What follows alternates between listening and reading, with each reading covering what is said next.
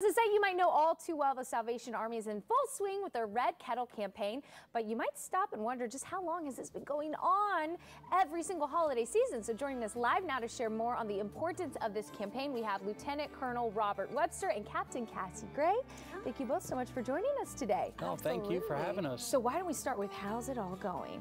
It's going great. You know, this is the 75th year for the uh, the Tree of Lights, and uh, what an exciting year it is. You know, uh, we have our red kettles out. We have all sorts of things going on. Angel tree distributions tomorrow.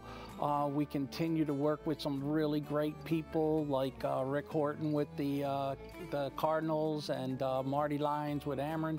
All of those people and all of our great volunteers are helping us make this work. And what a what a wonderful time of the year. It really is, and everyone's stepping up. And, and you said some of those exciting names. So what is the goal of this campaign? We just have a small goal. Yes. $6.2 million. okay. Okay. Just, and that's just for the St. Louis area. Yeah. And then it's 12.1 when you take in the rest of Missouri and Southern Illinois. Wow. So it is quite a challenge, and uh, it's a lot of hard work, and it's a, a lot of dollars that go into the red kettle one at a time. It really adds up.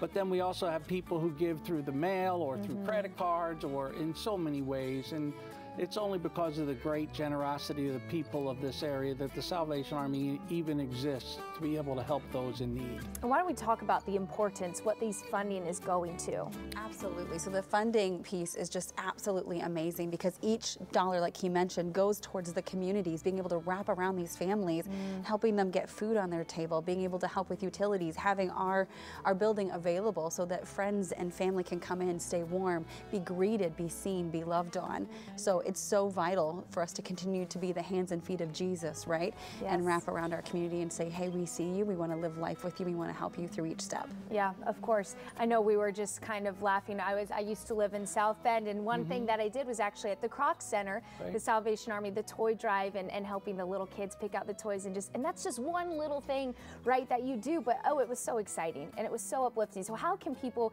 get involved in what you all do? Well, there's so many ways to get involved right now because you know we're we're in the middle of it. Uh, yes. Uh, the best thing you can do if you want to help us just by ringing the bell is go to registertoring.com and sign up. It's real simple. You go to registerring.com, you sign up, you put in your zip code, okay. and then after you put in your zip code, all the locations that need bell ringers are going to come up, and you just pick a two-hour slot or a four-hour slot, whatever.